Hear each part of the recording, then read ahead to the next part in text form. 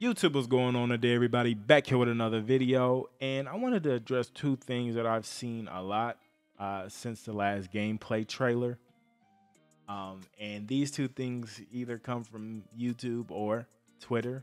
Um, I don't want to like single anybody out because it's not the point of this video, but when people say things on either of those sites, it, it tends to trickle down, and other people tend to echo what they say um, whether it be just the people just generally just watching and taking in the content or people making the content.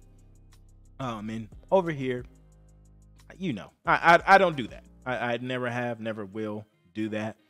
Um, and these two things that have been said is kind of just like, are we watching combat sports? Like, when in combat sports do these things happen? They happen in past combat sports video games, but they don't happen in real life all the time. How people, it seems like people want.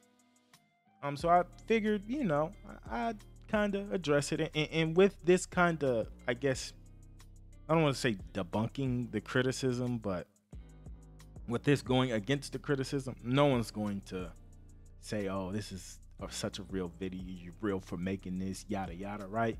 Because I only get those when I'm the one criticizing the game or saying something, I guess you could say negative, um, which it's not intended to be negative, just constructive. But I won't be getting any of those comments for this video. But let's go ahead and get into the first one. So I have no idea where people got this from. Um, actually, I, I do video games. got previous combat sports video games, but people are trying to bring that into ESB undisputed and Steel City don't do it, right? So in that trailer, we saw what was his name? Carl Froch, you know, throw throw a lot, empty his gas tank, and be pretty much at zero stamina at some points, right?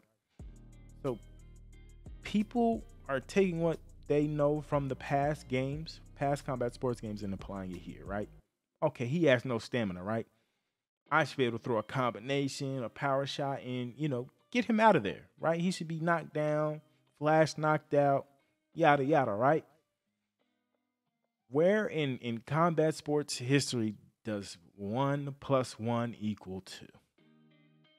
You may be able to bring up examples of someone getting tired and that being the reason they get stopped in a fight.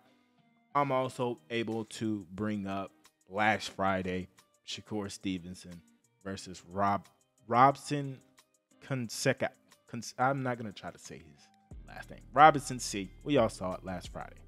All able to visibly see Robson slow down, move a little less, take more punches, throw less punches. Um, and Shakur, he saw that as well.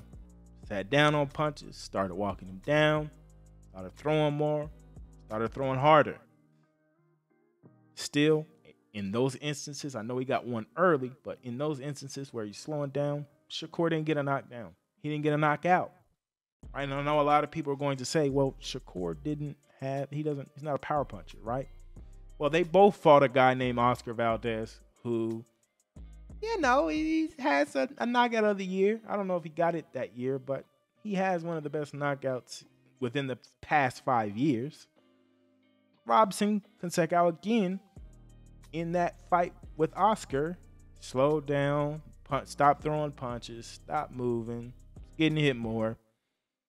Even Oscar wasn't able to put him down. I don't know if he put him down at all in that fight, um, but I know he didn't get knocked out. Right, and we can move on. I think everyone's watched Triple G versus Canelo, right? We all saw Canelo tire in, in fight one, correct? Canelo versus Bivol. There's so many examples of someone getting tired and getting hit clean with punches and, and nothing happening. So the whole like just video game, like I get it. Some things have to be gamified, but that's not one of the things that has to be gamified. So Steel City, fuck them. fuck them. Honestly, fuck them. Don't listen to them. Next. Next this one is again puzzling as well as someone who pretty much watches fights every weekend at least. I don't know where people get off thinking, oh, one plus one equals two. I just landed a power punch on a guy just moving in or, or low stamina, right? This power punch should put him down, right? Or we're trading, right? My power, I land a big power punch. You should not be able to hit me back after I land this power punch. You should be staggered. You should be rocked. Something should happen here. When in reality, that doesn't happen, right? Again, Canelo Triple G, two Triple G who lands like a right hook or a right hand or something like that, and Canelo's like head and body like oh, damn near turn, but as his head's coming back, Canelo's firing off his right hand too, right? So I don't know where people think like exchanges, back and forth exchanges don't happen in combat sports. Now, if you're saying the back and forth is too frequent in the game, then yeah, I can understand where you're coming from. But to say there's no back and forth in boxing, it's just basically your turn, my turn, my turn, your turn. It's not not true. Right? Just because someone lands a big power punch does not mean, oh, they're staggered or, or you can't punch me back. Ha ha ha. Like, no. and also, there are instances where people do get stopped in their tracks from punches, right? Because again, going back, not everything is one plus one equals two in boxing, right? We've seen jabs stop people in their tracks, right? And this is my second time doing this video because I had mic issues, but I was able to find Danny Jacobs versus Triple G. Um, and Triple G, as you guys should be seeing now, is squared up, throwing punches, and Danny Jacobs counters him. It knocks him back. Triple G has to regain his balance, reset, and get moving forward again, right? So in that instance, while Triple G, I mean, he physically would be able to punch, but it, it wouldn't, you know, result to much. But he'd physically be able to punch, but it wouldn't just, it just wouldn't make any sense. So in those instances, so in instances like that where a punch knocks someone off balance or it gets someone to reset, yeah, like a that, that stagger effect, yeah, it should be there. Now, if, if people are saying like it should be there more, and I'm just misunderstanding, then yeah, I, I, I guess yeah, but I, I think what they should have done is show the power modified punches a, a, little bit more, especially like the jab, so we can get that effect.